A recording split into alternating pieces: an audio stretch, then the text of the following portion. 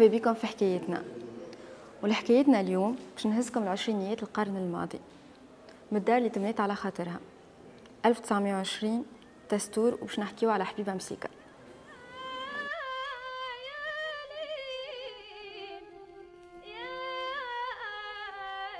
ال personnage نتاعنا اليوم هو حبيبة مسيكة un personnage très emblématique من دار الثقافة بتستور الدار اللي تبنيت على خاطرها بناها لها عشيقها إلياهو ميموني.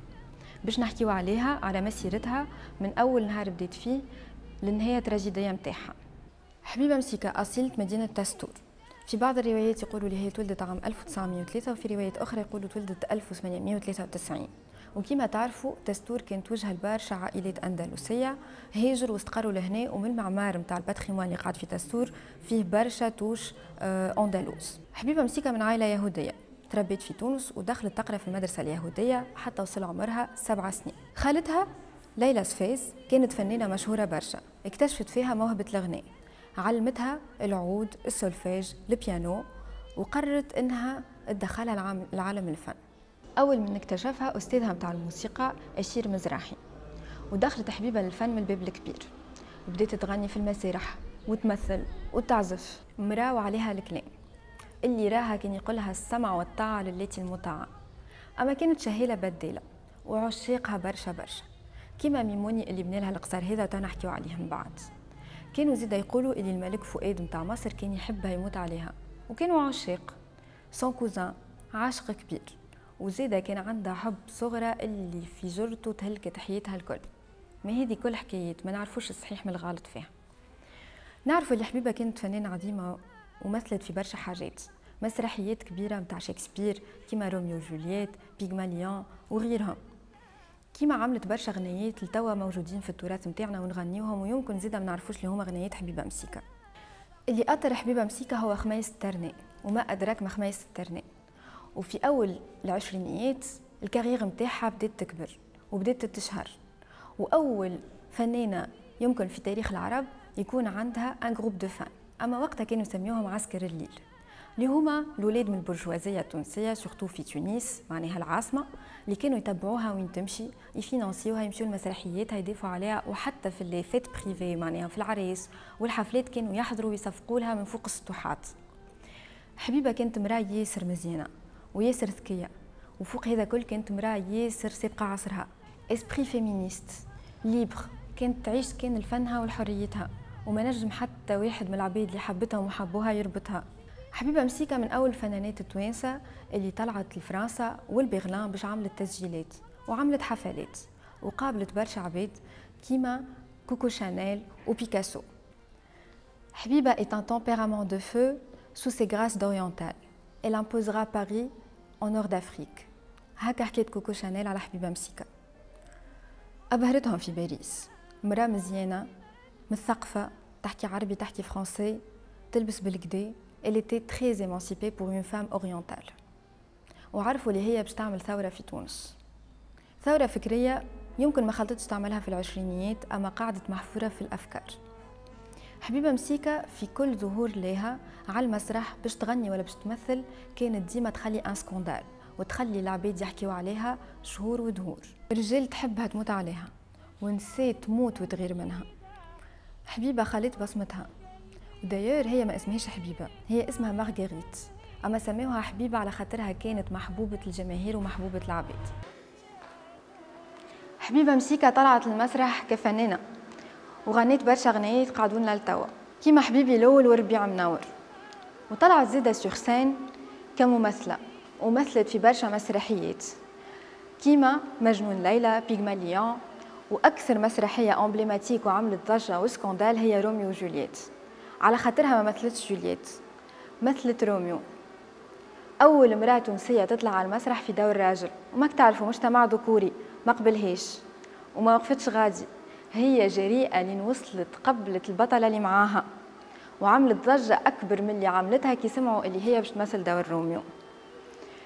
حبيبة مسيكة فنانة شاملة. وخليت بصمتها حتى لليوم.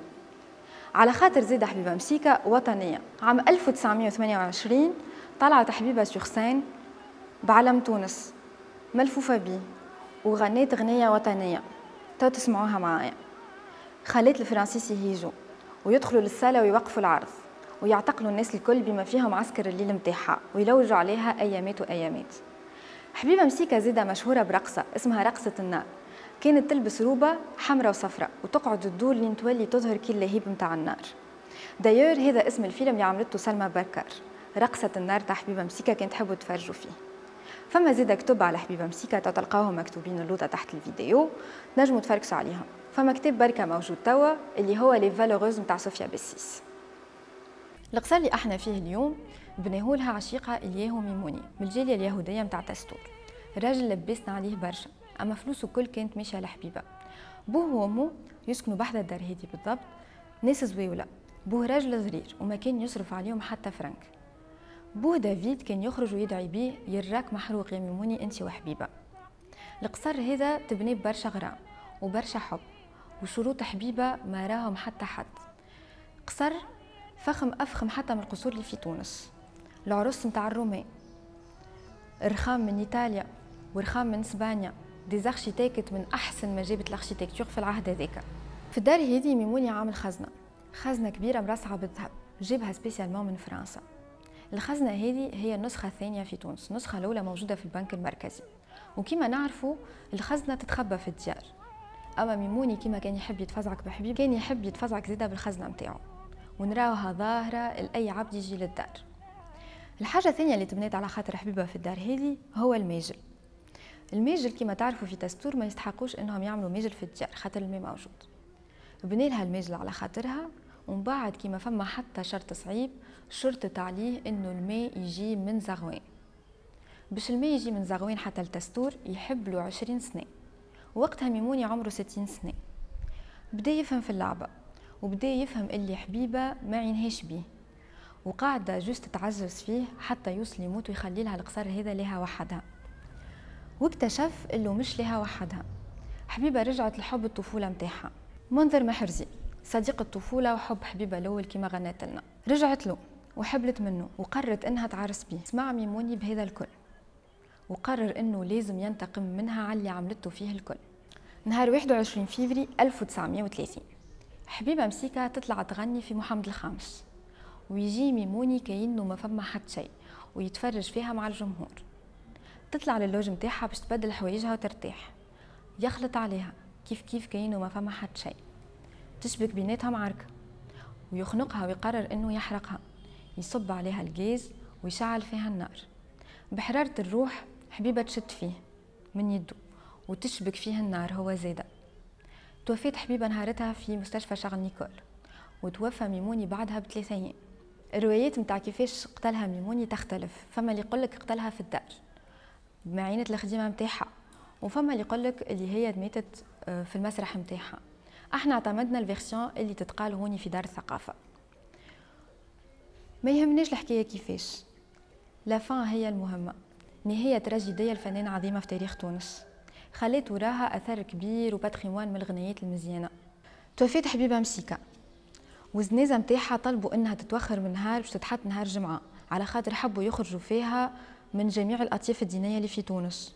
والتوا لغز كبير يحكيو فيه يقولوا زعما ماتت مسلمة وإلا لا وحد ما يعرف الحقيقة. ماتت حبيبة مسيكة ومات الميموني وما خلاو وراهم حتى ورثاء للقصر اللي إحنا فيه اللي هو كان مهر لعرسهم وفي بتراجيديا. وكما يقولوا في تستور القصر ولا حبس للجامعة معناها أصحابه ما عادش ينجموا يتصرفوا فيه ولا ملك للدولة. وولات دار ثقافة باسم إبراهيم الريحي اللي هو علامة من الوقت هذاك. دار الثقافه إبراهيم الريحي حبيبة مسيكه هي بلاصة وين ينجموا يجيو فيها les jeunes لجميع النوادي. كيما زيد بلاصة وين ينجموا الباحثين في التراث يجيو فيها.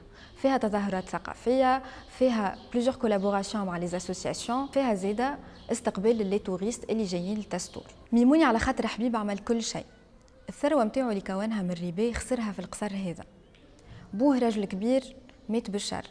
كان ياكل الجير متاع الحيوط وما كان ميموني يعطيه حتى فرانك. إذا فما عبرة نجم نخرج بها من الحكاية هذه إنه ما رضاء الله إلا برضاء الوالدين. العبرة الثانية يمكن ومن الحب ما قتل.